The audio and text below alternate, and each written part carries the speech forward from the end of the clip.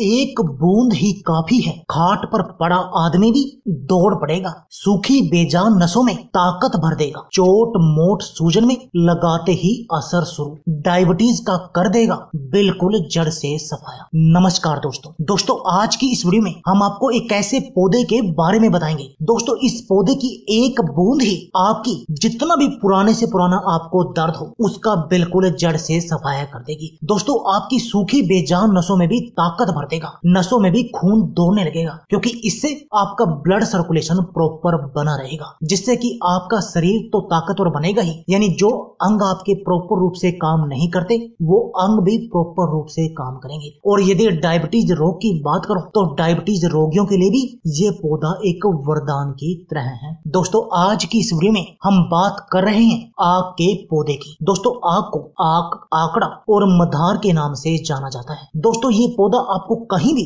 खरपतवार में खड़ा हुआ मिल जाता है। खेतों के किनारे खड़ा हुआ ये पौधा मिल जाता है, जो आप इस वीडियो में देख रहे हैं। दोस्तों, ये बहुत अधिक चमत्कारी है। आपके शरीर में चाहे घुटनों का दर्द हो, जोड़ों का दर्द हो, कमर का दर्द हो, पैरों में दर्द हो, तलवों में दर्द हो, दोस्तों, हर तरह के दर्द का नुस्खा ये इलाज है। दोस्तों, चाहे आपको मोच आ गई हो, चोट लग गई हो, सूजन हो, उसका भी ये नुस्खा इलाज है। बस आपकी चोट कहीं से फूटी हुई नहीं होनी चाहिए। यदि आपकी चोट से खून रिश्ता है, तब आपने इस पौधे का प्रयोग नहीं करना है। दोस्तों, यदि आपको डायबिटीज़ की बीमारी है और आप अपने शुगर के लेवल को कंट्रोल में रखना चाहते हैं, दोस्तों, तब भी ये पौधा आपके लिए वरदान की तरह काम करेगा। और इसको लगाते ही 10 मिनट के अंदर आपका दर्द, चाहे जोड़ों का दर्द हो, घुटनों का दर्द हो, कमर का दर्द हो, छुमंतर की तरह गायब हो जाएगा। इतना चमत्कारी है ये पौधा, इतना वरदान है इस पौधे के पास। तो चलिए आपको बताते हैं कि आपने इस पौधे का प्रयोग करना कैसे है। दोस्तों, आपने आग का पौधा लेना है, इसका एक तोड़ना है, उससे दूध निकलेगा। जैसे आपको घुटनों में दर्द है,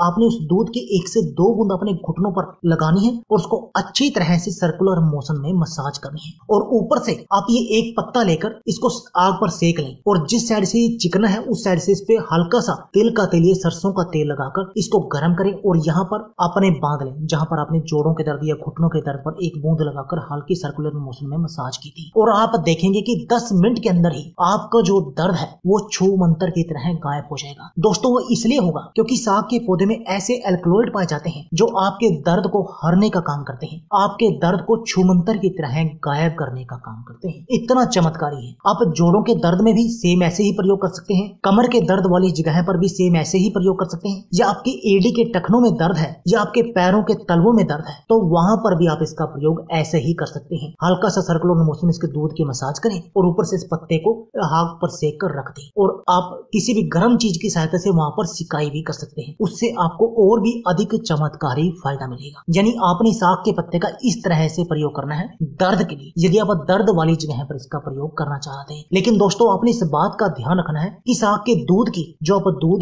निकालेंगे, उसकी बूंद आपकी आँखों में नहीं गिरनी चाहिए, वरना अंधापन आ सकता है। इसलिए आपको इसको सोच समझ कर ही प्रयोग करना है। अब बात आती है डायबिटीज़ के बारे में, कि आप इसको डायबिटीज़ पर कैसे प्रयोग करें। तो दोस्तों, डायबिटीज़ के लिए आप इसके एक पत्ते को लें और रात को सोते समय, या आप दिन में सुबह, आप इसके एक पत्ते को जहाँ से चिकना पार्ट है, वहाँ से आप अपने पैरों के तलवे पर बाँध लें। आप वहाँ से बाँध सकते हैं, उसके अपोजिट साइड से बाँध सकते हैं। लेकिन वैसे तो ये कहा जाता है कि अपोजिट साइड से बांधना चाहिए। लेकिन उससे प्रॉब्लम क्या आती है कि उसे एनीमिया की समस्या हो जाती है, खून की कमी की समस्या आती है। लेकिन यदि आप सीधे जहाँ से चिकना है, वहाँ से बांधेंगे, तब आपकी वो एनीमिया की समस्या नहीं आएगी और ये पौधा भी काम करेगा। यानी कम तरीके से काम करेगा, कम यानी कि एक होता है ना, हल्का नुस्खा बन जाता है। एक होता है हैवी नुस्खा। यदि आप उसके बैक साइड से, उल्टे साइड से बांधेंगे तो ये हैवी नुस्खे की तरह काम करेगा। लेकिन यदि आप इसे चिकनी तरफ़ से बांधेंगे तो ये हल्के नुस्खे की तरह काम करेगा, जिससे आपको कोई भी नुकसान नहीं होगा। ऊपर से आप कोई रील वगैरह के बाँध दे, जिससे कि आपकी एडी पर और आप ऊपर से सोक्स डालें। जैसे आपने सुबह बांधा तो आपको शाम को निकाल दे।